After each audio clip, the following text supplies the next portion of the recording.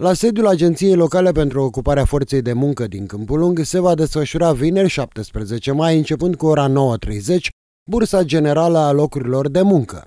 Evenimentul se adresează persoanelor care se află în căutarea unui loc de muncă și care doresc să se angajeze sau a celor care doresc să își schimbe locul de muncă.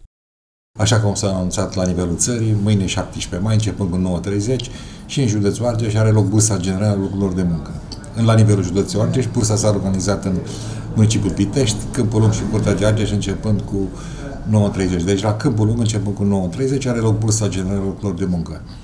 În această perioadă am contactat agenții economici care au confirmat participarea. Sunt 13 agenții economici cu aproape 200 de locuri de muncă.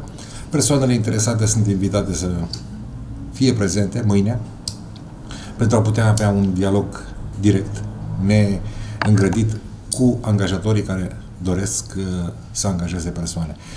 Orice angajator care nu a confirmat participarea și dorește să participe, poate veni până mâine la ora 9.30 să ofere locuri de muncă persoanelor interesate în acest sens.